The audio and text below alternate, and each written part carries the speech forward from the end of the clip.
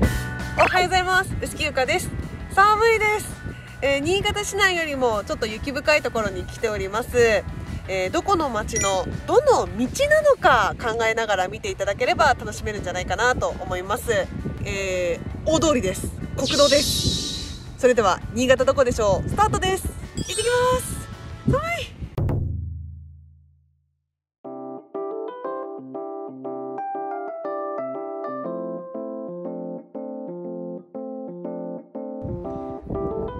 ごく山が近いですね。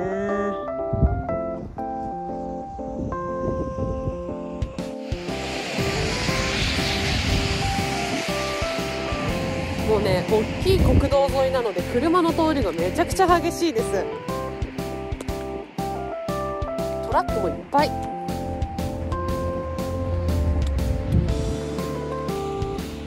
竹林があってわあ竹林があるっていうと旦那さん絶対「ちん竹林?」って言うんですよね。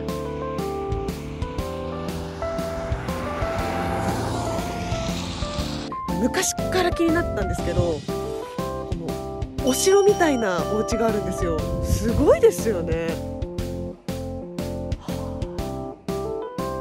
やっぱ天守閣が寝室なのかな。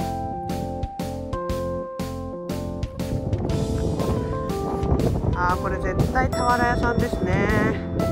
でこのお向かいにあるのが最近、えー、スポーツの分野で目覚ましい活躍をしている国際高等学校のこれ武道場ですね。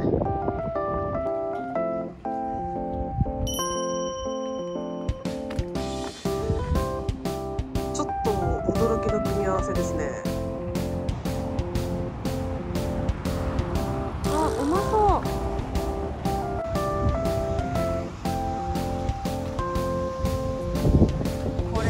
が何かと思ったら